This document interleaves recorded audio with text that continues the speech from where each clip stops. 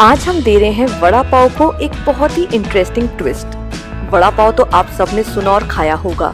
आज हम बनाने जा रहे हैं उल्टा वड़ा पाव। ये बन चुका है एक बहुत ही ट्रेंडिंग स्ट्रीट फ़ूड तो अगर अभी तक आपने इसे ट्राई नहीं करा है तो ये है एक मस्ट ट्राई रेसिपी और इसी के साथ मैं शेयर करूँगी एक बहुत ही स्पेशल वड़ा पाव, जिसे मैंने सिर्फ़ बच्चों के लिए बनाया है, ताकि बच्चे भी वड़ा पाव का मज़ा उठा पाए। Hello my foodie friends welcome to keep cooking with Priya आज हम बनाएँगे उल्टा वड़ा पाव, जो कि है बहुत ही फ़ेमस और ट्रेंडिंग स्ट्रीट फ़ूड तो आप भी इसे ज़रूर ट्राई करें और अगर आपको ये वीडियो पसंद आए तो प्लीज़ इसे लाइक करें और हमारे चैनल को ज़रूर सब्सक्राइब करें। तो आइए देखते हैं इसे कैसे बनाया जाता है। इसके लिए सबसे पहले आप एक पैन ले लें और इसमें हम डालेंगे एक बड़ा चम्मच तेल। यहाँ पे मैं रिफाइंड ऑयल का यूज़ कर रही हूँ। तेल को अच्छे से गर्म हो जाने दें, फिर इसमें डालें आधा छोटा चम्मच राई। राई को क्रैकल हो जाने दें। फिर इसमें डालें एक पिंच हींग, एक हरी मिर्च बारीक चॉप करके, एक इंच अदरक का टुकड़ा बारीक चॉप करके, आधा छोटा चम्मच गार्लिक का पेस्ट। अगर आपके पास लहसन हो तो दो तीन कली लहसन को भी बारीक चॉप करके डाल दें। मेरे पास लहसन नहीं थी, इसीलिए मैं गार्लिक पेस्ट का इस्तेमाल कर रही हूँ और कुछ कड़ी पत्ते। अब इन्हें बिल्कुल लो फ्लेम पे सौते करें, सिर्फ़ 30 सेकेंड्स के लिए। बहुत ही अच्छा फ्लेवर आने लगा है इनमें से।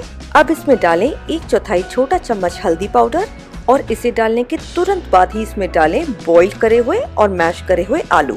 तो यहाँ पे मैं पाँच बड़ा पाव बना रही हूँ और इसके लिए पाँच आलू का इस्तेमाल कर रही हूँ। आलूओं को मैश करके ही डालें, उन्हें ग्रेट करके ना डालें। अब एक स्पैचुला से मैश करते हुए मिक्स करें।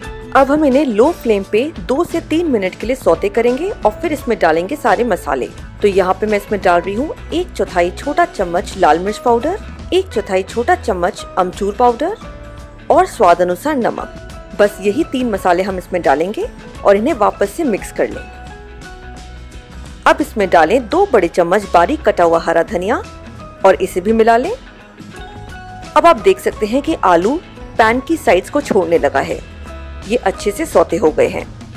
तो बहुत ही फ्लेवरफुल मसाला तैयार हुआ है। गैस की फ्लेम को बंद कर दें और इसे ठंडा होने के लिए साइड पे रख दें। अब हम प्रिपेयर करेंगे वड़ा पाव के लिए बेसन का बैटर। तो इसके लिए यहाँ पे मैंने लिया है एक बोल और उसमें मैं डाल रही हूँ एक कप बेसन। अब हम इसमें डालेंगे एक चौथाई छोटा चम्मच हल्दी पाउडर, एक चौथाई छोटा चम्मच लाल मिर्च पाउडर, स्वाद अनुसार नमक और एक पिंच हींग। अब पानी से हम इसका एक घोल बनाएँगे। तो यहाँ पे सबसे पहले मैंने लिया है आधा कप पानी और एक हैंड विच से हम इसे मिलाएँगे। आधा कप पानी डालने के बाद अब पानी कम है तो मैंने इसमें वापस से थोड़ा पानी डाला है और इसे अच्छे से मिला रही हूँ। हमें इसका ना ही ज़्यादा पतला और ना ही ज़्यादा गाढ़ा बैटर चाहिए। अब बाकी का पानी भी मैंने इसमें मिला लिया है और एक एकदम स्मूथ सा बैटर बना लिया है। तो इस बैटर को बनाने में टोटल एक कप पानी का यूज़ किया है मैंने। आपने इसे अच्छे से फेंटना है, क्योंकि इस बैटर में मैं बेकिंग सोडा का इस्तेमाल नहीं कर रही हूँ।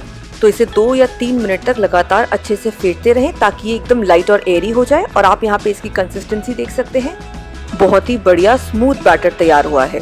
अब हम इस बैटर को पाँच मिनट के लिए रेस्ट पे छोड़ देंगे, जितने अपने पाव असेंबल करेंगे। तो यहाँ पे मैंने लिए हैं पाँच पाव। अब देखते हैं पाव को किस तरीके से काटना है। ये जो आप जॉइंट वाला पार्ट देख रहे हैं, हमें वहाँ से पाव को नहीं काटना है। इसके ऑपोजिट वाले साइड से आपको पाव को काटना है। तो एक नाइफ की मदद से आप पाव को कट करें। पूरा ना कट करें, इसके साइड्स को जॉइंट रहने दें। बस इतना कट करें कि ये आसानी से खुल जाए। अब यहाँ पर है मेरे पास दो तरीके की चटनियाँ, लाल और हरी। यहाँ पे मैं लाल वाली इंस्टेंट शेजवान चटनी का यूज़ कर रही हूँ और हरी वाली है धनिया और पुदीने की चटनी।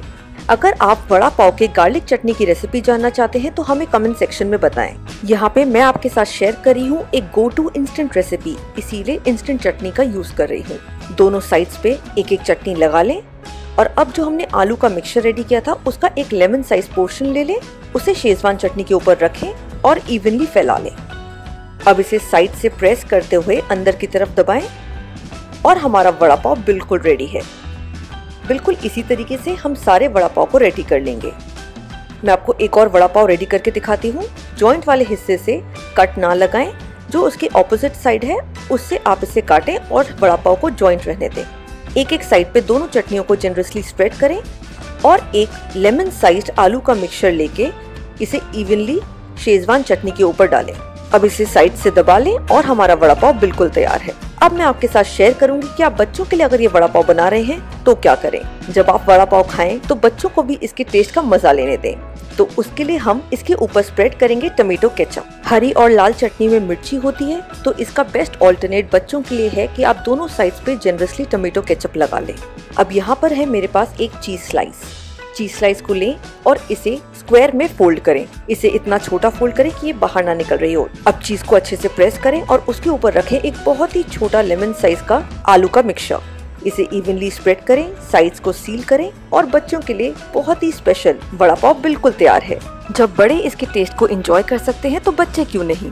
तो अब आइए प्रिपेयर करते हैं हरी मिर्चें। जो वड़ा पाव के साथ मिलती है ना स्ट्रीट स्टाइल अंदाज में बिल्कुल वही। तो यहाँ पे मैंने लिए हैं पाँच हरी मिर्चें। इन्हें अच्छे से वॉश कर लें और अब नाइफ से इस पे हम एक स्लिट लगाएँगे। हम हरी मिर्च को बीच से हाफ़ नहीं कर रहे हैं, बस इस पे एक चीरा लगा रहे हैं। इसे खोल लें चेक कर लें और अब हम इसके बीच में भरेंगे एक पिंच नमक। नमक डालने से हरी मिर्च का टेस्ट बहुत ही इनहेंस हो जाएगा जब आप इसे फ्राई करेंगे। तो ये हरी मिर्चें तो वड़ा पाव के साथ आप ज़रूर बनाएँ, बहुत ही टेस्टी लगते हैं। तो बिल्कुल इसी तरीके से हम अपनी सारी हरी मिर्चें रेडी कर लेंगे। तो अब हमारे वड़ा पाव भी तैयार है। आइए स्टार्ट करते हैं इन्हें फ्राई करना। तो यहाँ पे हमारे बेसन के बैटर को रेस्ट करते हुए पाँच से सात मिनट हो चुके हैं। आप इसकी कंसिस्टेंसी वापस से देख सकते हैं। अब एक वड़ा पाव लें। हम इसके सबसे पहले साइड्स को डिप करेंगे। चारों साइड्स को एक एक करके बहुत ही आराम से बैटर में डिप करें। अब ऊपर और नीचे से इस बैटर में वड़ा पाव को टोटली डिप कर दें। और जैसे ही आप इसे डिप करें, वैसे ही तुरंत ही मीडियम हॉट ऑयल में हमें इसे फ्राई करना है। तो यहाँ पे मैं दो वड़ा पाव फ्राई कर रही हूँ एक साथ। अब एक करची से वड़ा पाव के ऊपर हम तेल डालेंगे, ताकि जो इसकी ऊपर की सतह है, वो भी अच्छे से सिक जाए। और जब हम इसे पलटे तो ये बिखरे नहीं।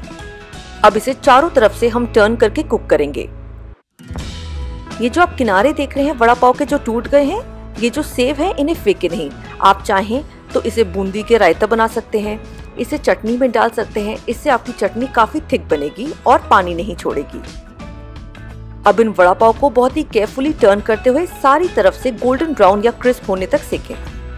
तो हमारे वड़ा पाव बिल्कुल तैयार है। अब हम फ्राई करते हैं वो चीज़ वड़ा पाव जो हमने बच्चों के लिए प्रिपेयर किया था। इसे भी बैटर में बिल्कुल उसी तरीके से कोट करके डाल दें। एक करची से इसकी ऊपर की सतह पे तेल डालें ताकि ऊपर की सरफेस भी अच्छे से सिक जाए। और फिर इसे टर्न करें और सारी साइड्स को इवनली गोल्डन ब्राउन होने तक फ्राई करें। बहुत ही बढ़िया वड़ा पाव बनते हैं ये। बहुत ही टेस्टी और बहुत ही यूनिक अंदाज है इनका। तो यहाँ पर आप देख सकते हैं कितने बढ़िया ये फ्राई हो रहे हैं। चीज़ बाहर भी नहीं निकल रही है क्योंकि हमने इन्हें अच्छे से सील करा था। बैटर की कंसिस्टेंसी अगर परफेक्ट होगी तो आपके वड़ा पाव भी बहुत ही अच्छे बनेंगे। तो बस अब इन्हें निकाल लें और इसी तरीके से सारे वड़ा पाव बना लें। आइए अब मिर्चों को फ्राई करते हैं। तो यहाँ पे मैंने मिर्ची डाली हैं। इन्हें बस 30 सेकेंड्स या एक मिनट के लिए हम हॉट ऑयल में फ्राई करेंगे। ज़्यादा नहीं कुक करना है, नहीं तो इनका कलर चेंज हो जाएगा और ये ओवर कुक हो जाएँगी। तो बस अब इन्हें निकाल लेते हैं। नमक डालने से ये मिर्चों का टेस्ट बहुत ही अच्छा आता है। तो वड़ा पाव के साथ आप इन मिर्चों को ज़रूर सर्व करें। तो अब हमारे सारे वड़ा पाव तैयार हैं। आइए चलते हैं सर्विंग के प्रोसेस में। देखिए कितने बढ़िया लग रहे हैं ये वड़ा पाव। बरसात के मौसम में चाय के साथ ये वड़ा पाव बहुत ही टेस्टी लगते हैं। तो अगर आप भी बरसात के मौसम में पकौड़े और कचौड़ी खा के बोर हो गए हैं तो इस नई वड़ा पाव की रेसिपी को ज़रूर ट्राई करें। वाओ अंदर से देखिए कितनी अच्छी लेयरिंग आई है। अब हम काटते हैं ये चीज़ वाले वड़ा पाव। देखिए कितना अच्छा मेल्टिंग चीज़ है इसमें। बच्चों को ये बहुत ही पसंद आएँगे। तो अगर आपको आज का ये वीडियो पसंद आया हो तो प्लीज़ इसे लाइक करें और हमारे चैनल को सब्सक्राइब करना ना भूलें। Thanks for watching.